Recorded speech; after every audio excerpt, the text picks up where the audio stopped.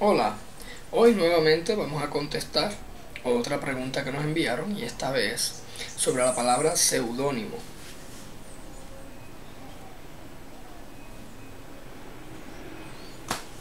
Un seudónimo, ¿verdad? Como una forma de conocer a alguien de otra manera con otro nombre.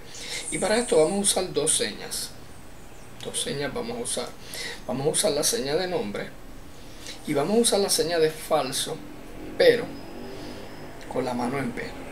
Y va de esta manera. Seudónimo. Vamos a verlo otra vez.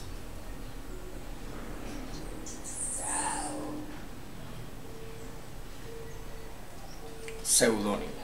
¿Ok? Continúen enviando sus preguntas y nosotros continuaremos respondiendo.